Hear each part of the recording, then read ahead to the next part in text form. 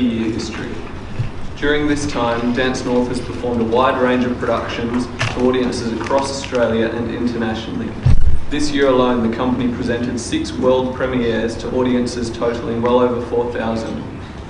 In addition, Dance North has developed an enviable community and education program which delivers a wide range of projects in Townsville, across Queensland and Australia.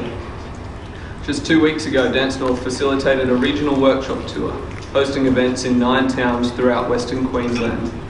The company dancers taught 24 workshops over the seven day period, working with a total of 657 students. From the 1st of January this year, Dance North has engaged with 4,427 participants through our various community and education programs. Dance North is dedicated to creating positive social change by empowering the lives of young people through art, and this vital work is only made possible through access to the long term operational funding provided by the Australia Council.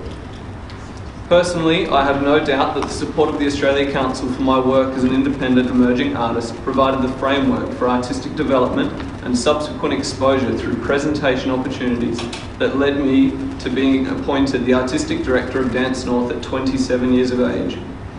For me, as an artist, it sincerely feels as though from here the possibilities are endless. It is not too great a stretch for the imagination to consider that perhaps one day I may find myself leading one of the major performing arts organisations in this country.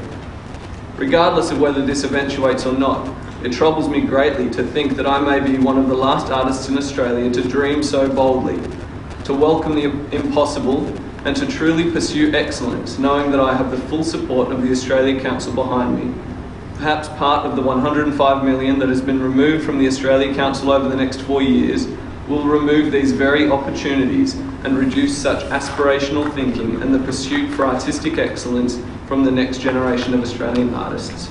Thank you. Thank you, Mr. Toad.